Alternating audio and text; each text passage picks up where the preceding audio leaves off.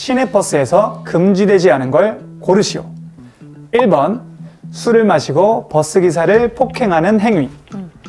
2번 버스의 기물을 파손하는 행위. 마지막 3번. 버스 안에서 음란물을 시청하거나 승객에게 성적 수치심이 드는 행동을 하는 행위. 이것도 금지이긴 한데 이게 마지막이면 안 되는데? 정답이 없지? 아쉽게도 정답이 있어. 있다고? 답은 바로 3번이야. 에? 이런 허점을 발견하고 두 팔을 걷고 나선 것이 바로 오늘 소개할 서울시의회 교통위원회야. 교통위원회는 서울 시민에게 편리한 교통수단과 교통환경 제공을 위해 도시교통 전반에 관한 사항을 관리, 감독, 지원하는 역할을 하고 있어. 방금과 같은 문제를 찾아내 바꾸는 게 교통위원회의 역할이기도 하지. 대학생인 혜민 씨는 친구를 만나러 버스를 기다리고 있었어. 기다리던 버스가 오고 마침 좌석이 널널했기 때문에 자리에 앉아 있는데 옆에서 이상한 소리가 들리는 거야. 한 남자가 성인 영화를 보고 있었는데 심지어 소리가 들려. 더 소름 끼치는 건 혜민 씨가 보자 눈이 마주쳤다는 거야. 아 소름 끼쳐 어, 그건 그냥 신고해야 될 것 같은데? 실제로 했어. 근데 돌아오는 답이 황당했어.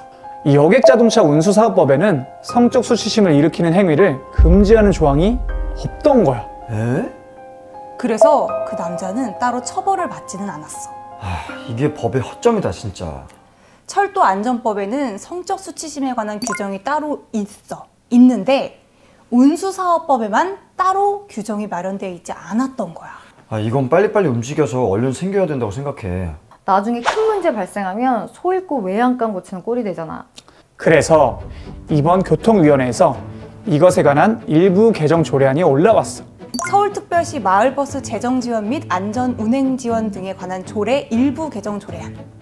성적 수치심을 일으키는 행위를 금지하는 규정과 시민의 적극적인 협조 의무가 신설이 됐어.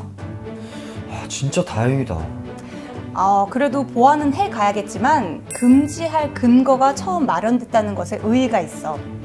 버스만큼 여전히 우리 삶과 밀접하게 다리가 되어주는 교통수단은 잘 없을 거야. 정말 매일 타는 분들도 계시고. 그만큼 정말 중요해. 이번 건뿐만 아니라 버스는 매번 교통위원회의 가장 중요한 핫 이슈야. 버스에 대해 정말 다양한 이야기가 오고 가는데 어떤 이야기가 나오는지 한번 들어보자. 우리 버스 준공영제와 지금의 구조 속에서 좀 변화에 대한 필요성의 의지를 갖고 계신다면 보여주셔야 됩니다. 음 변화 의지를 요구하시는구나 그 말버스가 지금 실질적으로 이제 뭐 기사 구하기가 되게 어렵다 현실적으로 하는데 여기에 대한 대책은 이제 그 가점이 사라진 이유가 뭐며 음, 버스 기사님도 힘들지.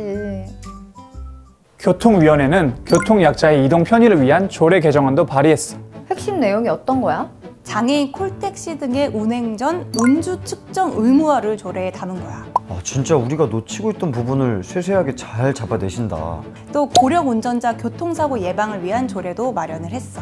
고령 운전자분들을 위해 운전면허 자진 반납 및 재교육 등 다양한 시스템을 마련해서 사고를 미리 예방하고자 하는 거야. 이렇게 이번 서울시의회 교통위원회는 이번 제322회 임시회에서 총 11건의 조례안을 심사했어.